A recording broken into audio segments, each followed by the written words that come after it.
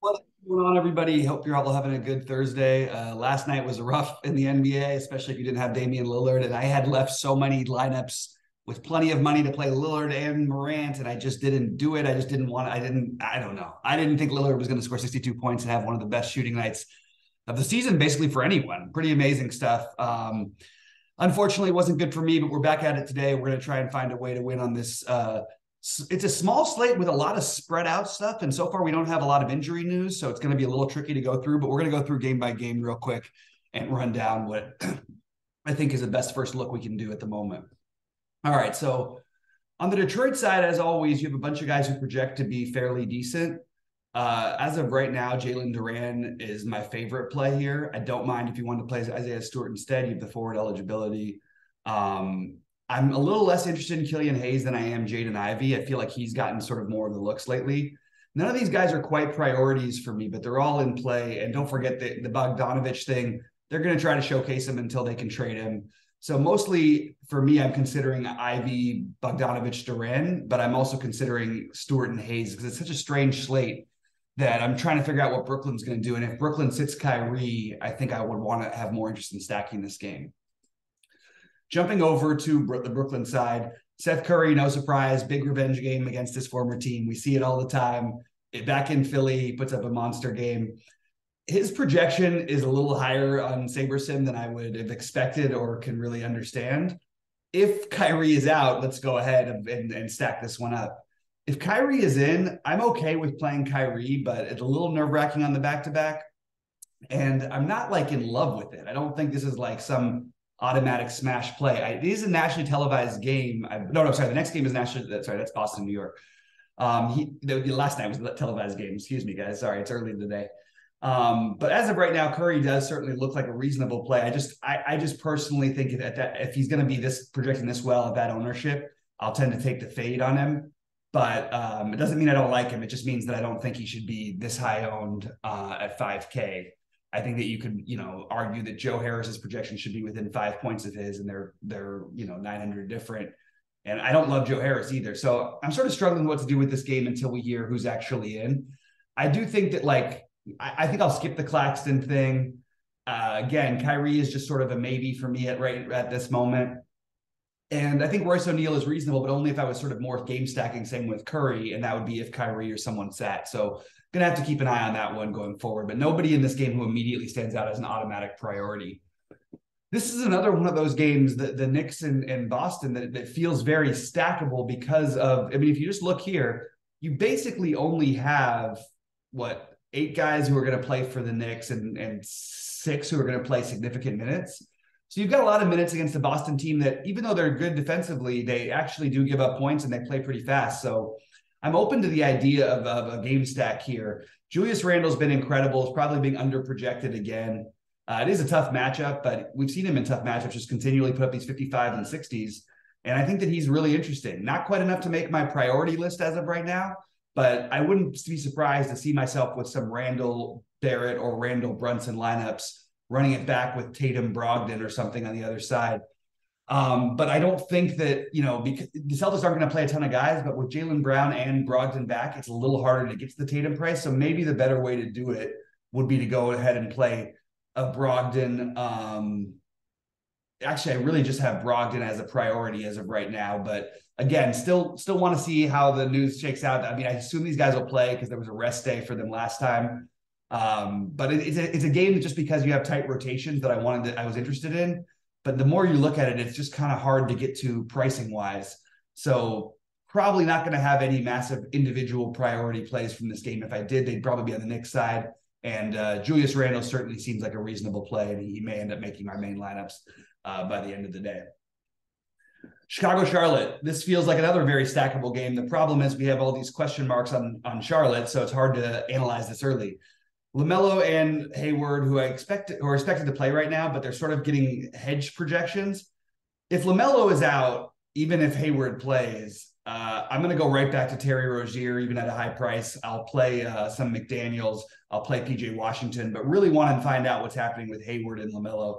If Hayward and LaMelo are in, PJ Washington is the only guy I have a, a serious level of interest in. In fact, as of early in the day, I'm going to put him on my early core. Um, I think he's just a really, you know, he's a solid guy. Uh, you know, he's he's been really solid this year. It's a great, it's a really good matchup for both teams here.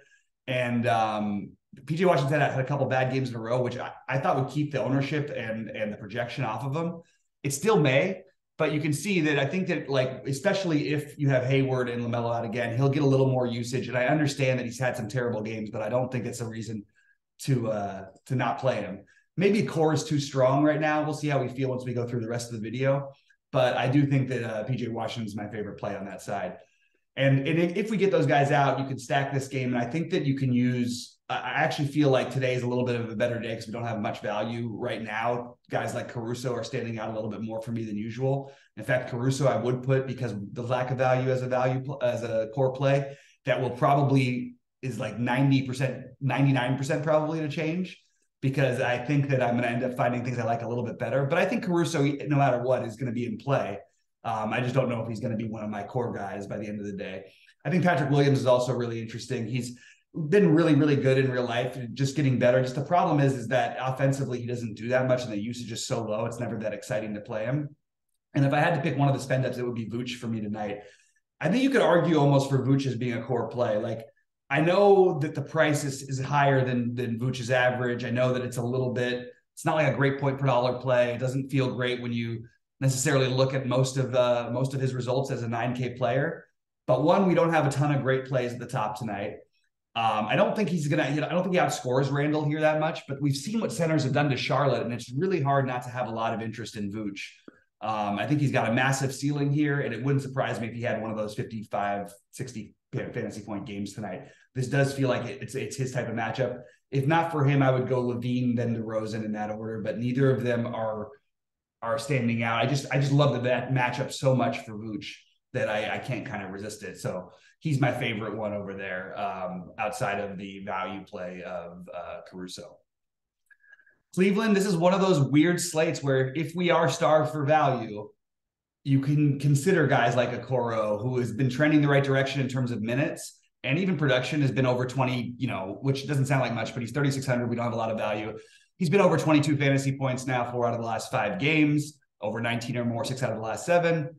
It's it's not a fun play. It's not like the oh we were we got Isaac Okoro. He's going to get us 35 fantasy points. No, it's just like if you're looking for value, I do think that he stands out as someone who definitely provides that. This is obviously a hugely plus matchup for the whole Cleveland roster because you're playing at one of the worst defensive teams in the league. And it's just about deciding which way we want to go with it. I think if Mitchell's in, he's reasonable. I tend to like him when they really need him more.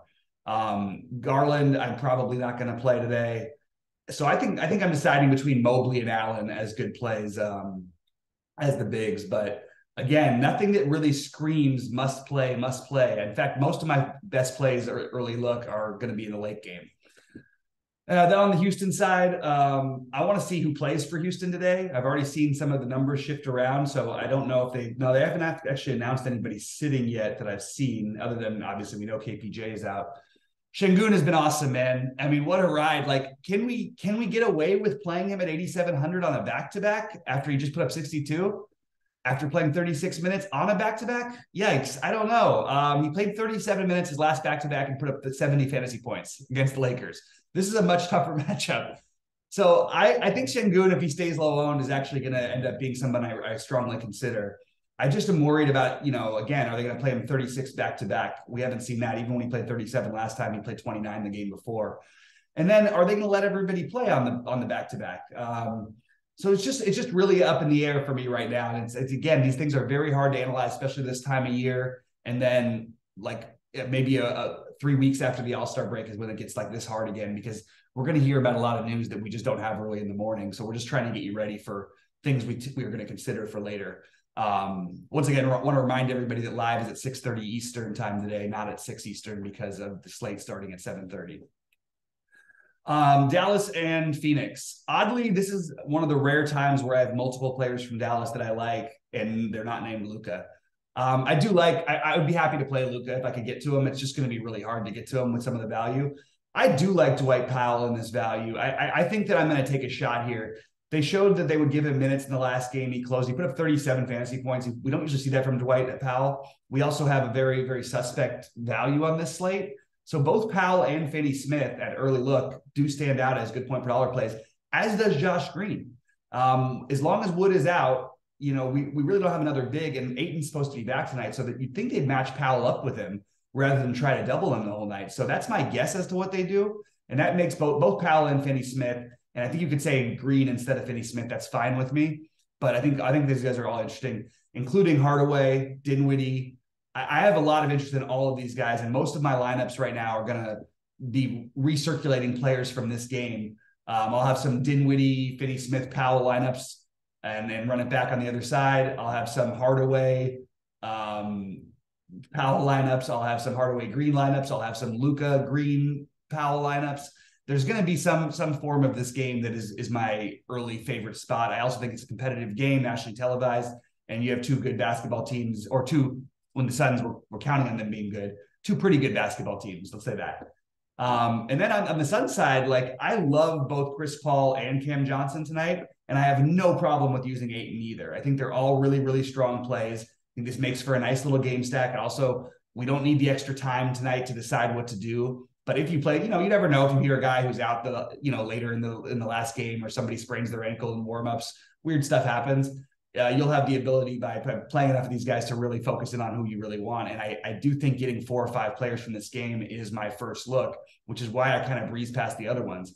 If I wasn't going to do that, I would be trying to find a way to possibly stack Chicago, Charlotte, and those would be my favorite spots on this slate that we've talked about anyway so far.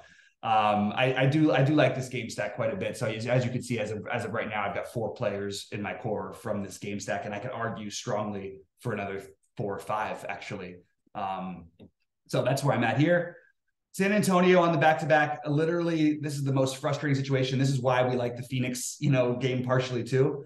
Is if we have late news on the back to back with the Spurs, you'd think that some some people are going to be sitting here and we just don't know for sure which ones yet. We already don't have Vassell and Langford. Saw a nice game out of Sochan last night. If he's good to go tonight, I think I would take a shot with him, although I worry about how much they'll play him on the back to back. But it's really just nothing stands out as being a great play for the Spurs at the moment. By the end of the day, it may.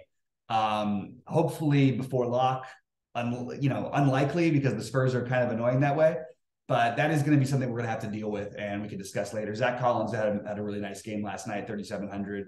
Again, have to see if they play him on the back to back. I think they will play most of these guys, but I have a feeling somebody sits. At least at least one of these guys sits. We'll see. On the Clipper side, love Paul George. He's my other priority play as of right now. Again, keep an eye out later for my core plays because they're going to be better than they are this morning. We're going to get news that we don't even have. We don't have yet. Um, but I like Paul George at 8,500. I think it's a fair price, a good matchup. Um, we know Paul George is not is you know can be aggravating at times to, to play when Kawhi is playing because he doesn't always go do his whole full thing. I think this is a really good spot for him, and he is uh, he is my favorite play in this game. I also am open to guys like Marcus Morris and Batum more than I usually would be because of the lack of immediate value on the slate. We might have more later. Anyway, guys, just a quick first look. Please like and subscribe if you haven't already. Um, just wanted to give you guys an early look before we uh, before we decided, uh, you know, before we did anything. But the truth is, the real the real help is going to be at 6:30 Eastern time, and then take a look at my early plays and core plays a little bit later on when I have a little more figured out. Thanks so much to everybody for being a good true DFSer. Uh, jump on into our Discord if you aren't already, and uh, let's make some money today, everybody.